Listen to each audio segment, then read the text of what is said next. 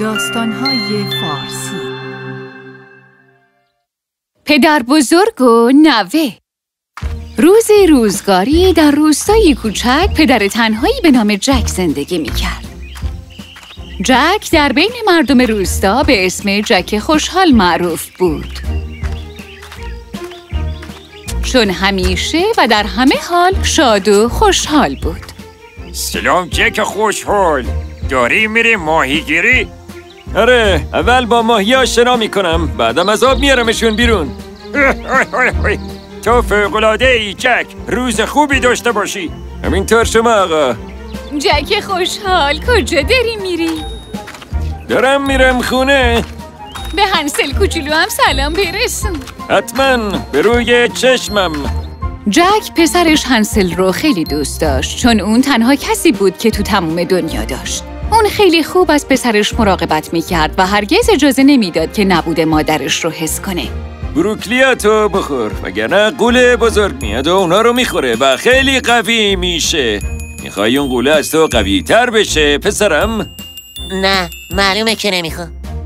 هنسل دیگه وقت دوش گرفتنه. امروز خیلی سرده. دوست ندارم هموم کنم. خب پسرم اگه دوش نگیری کم کم بو می‌گیری و دیگه هیچ کس با تو دوست نمیشه. تو همینو می‌خوای؟ نه نمی‌خوام. یک روز وقتی هنسل کاسه سوپش رو تموم کرده بود کاسه رو انداخت و کاسه خرد شد. هنسل بیچاره شروع کرد به گریه کردن اما پدرش دلداریش داد. وای پسرم گرگه نکن مشکلی نیست. یه کاسه جدید برات می‌خرم. اصلا نگران نباش. ممنون پدر. روزها گذشتند و هنسل بزرگ شد و مرد جذابی شد. همه در روستا به اون هنسل خوشتیپ می‌گفتن. نگاه کن هنسل خوشتیپه داره میاد. اون مثل یه رویا میمونه. هی هنسل خوشتیپه. میگم می‌خوای بریم یه آب نارگیل با هم بخوریم؟ آره حتما. اما یه روز دیگه. الان باید برم از پدرم پرستاری کنم. وای جک پیر رو میگی؟ سلام ما رو هم بهش برسون. حتما این کارو می‌کنم جک خوشحال حالا به جک پیر معروف شده بود. اون پیر و ضعیف شده بود و دیگه مثل گذشته خوشحال نبود. اما هنسل به خوبی از اون مراقبت می‌کرد و هر وقت که پدرش نیاز داشت در کنارش بود. روزها گذشت و هنسل خیلی زود عاشق دختری به نام السی شد. اونها اونقدر همدیگر رو دوست داشتن که تصمیم گرفتن ازدواج کنن. خیلی زود با دعای خیر جک هنسل و السی با هم ازدواج کردند. جک برای پسرش خیلی خوشحال بود اما خبر نداشت که چه اتفاقی قراره براش بیفته. بعد از گذشته چند ماه السی روی واقعی خودش رو نشون داد. اون شروع کرد به دور کردن هنسل از پدرش و هنسل خیلی زود تغییر کرد هرچه بیشتر به همسرش علاقمند و وابسته می‌شد تمام عشق و احترامش به پدر به تدریج از بین می‌رفت السی هنسل رو کنترل می کرد و مطمئن می شد که به خواسته هاش تن در میده. هنسل کجا داری میری؟ میرم یه سری به پدرم بزنم می‌خوام مطمئن بشم که غذاشو خورده تموم کارت شده فکر کردم به پدرت. پس من چی میشم هنسل؟ پس من چی؟ تو هیچ مسئولیتی در برابر من نداری ها؟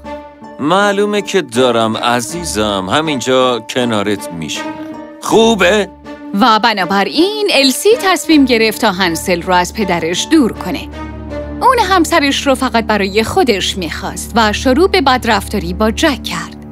این کار روی هنسل هم تأثیر گذاشت و اون دیگه نگران خوب بودن حال پدرش نبود. پدرت همیشه خوابه. نمی‌تونم صدای خور و پفش رو تحمل کنم. پدر یکم حواستو جمع کن باشه؟ خیلی زود جک احساس تنهایی کرد و از پسرش دور شد. اما کسی رو نداشت که با اون صحبت کنه و احساساتش رو با اون در میون بذاره. یک سال گذشت و السی پسری به دنیا آورد. اسمش رو هری گذاشتن. هری زندگی دوباره‌ای برای جک بود.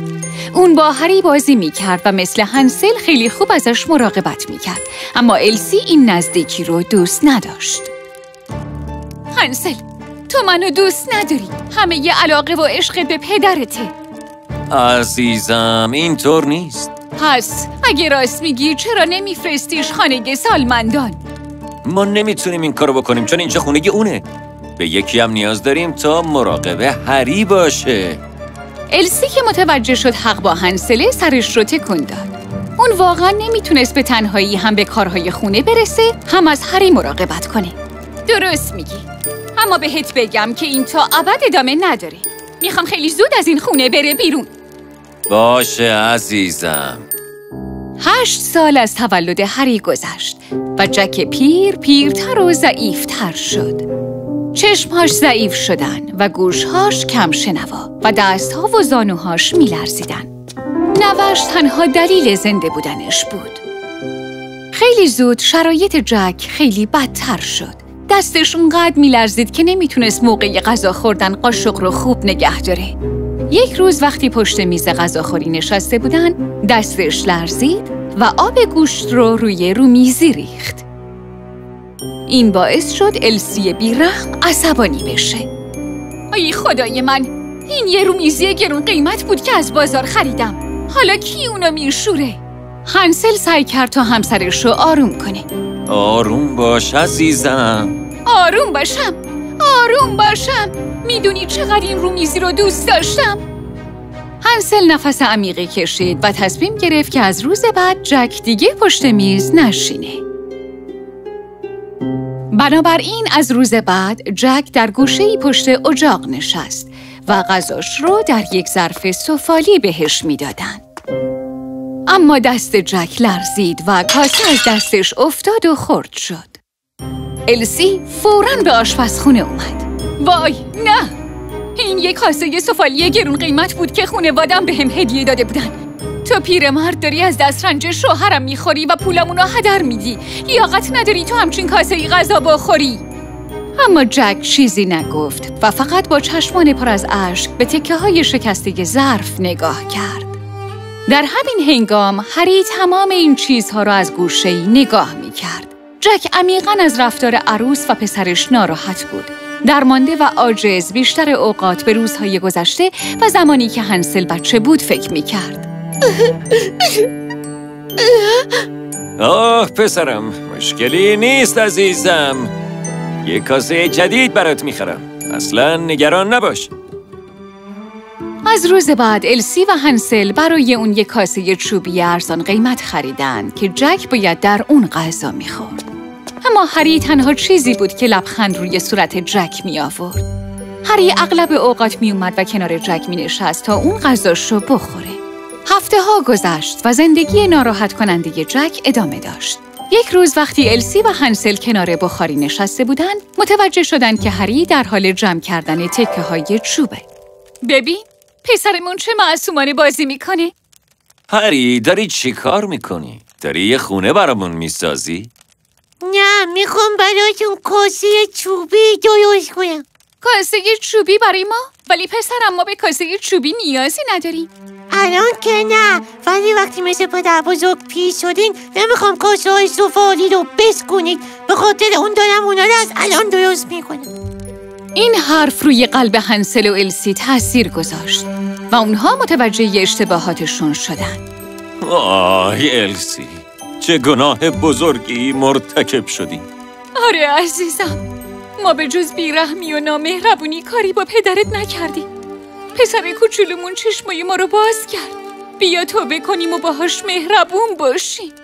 بنابراین از روز بعد اونها به خوبی از جک مراقبت کردند.